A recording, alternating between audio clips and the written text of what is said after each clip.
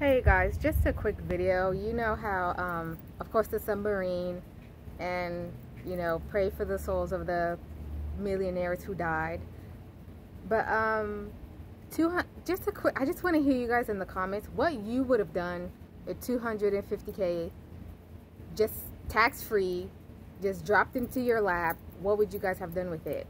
Because remember, there was a point during social media where people were like, a million dollars is nothing. A million dollars can't do nothing. Uh, I can't survive off of a million dollars. But then with this submarine, everybody's like, you paid 250 to just to be in this soda can. So I just want to hear from you guys.